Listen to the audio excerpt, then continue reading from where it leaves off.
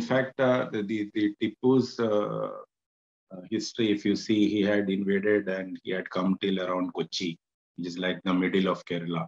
From there, Travancore uh, kingdom uh, had uh, resisted a lot, and then due to the strategies adopted by the Travancore kings, he couldn't further come to the south part of the state.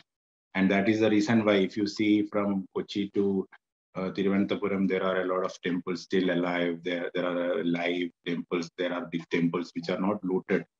Uh, even the Padmanabha Swami temple, for that matter. But uh, from uh, Malabar region and Kochi region, if you see, um, it has been completely, uh, uh, you know, vandalized and temples were looted. Even the famous temples like uh, Temple and the temple in Guruvayur, which is the biggest Vishnu shrine in uh, apart from Tirupati, you can say in south.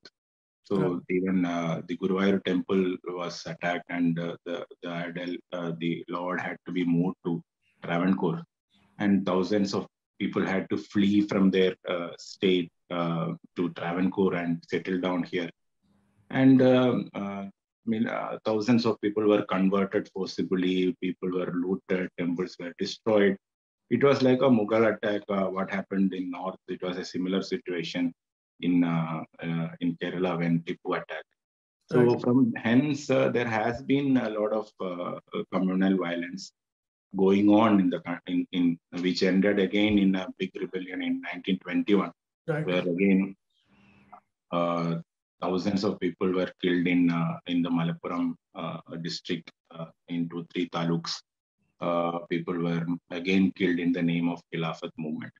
So after that, uh, once uh, uh our organization like the Rashtriya Swayamsevak Sangh and BJP and then Sangh, etc., started working on the ground, these Hindus have got that you know feeling that there is someone to protect us.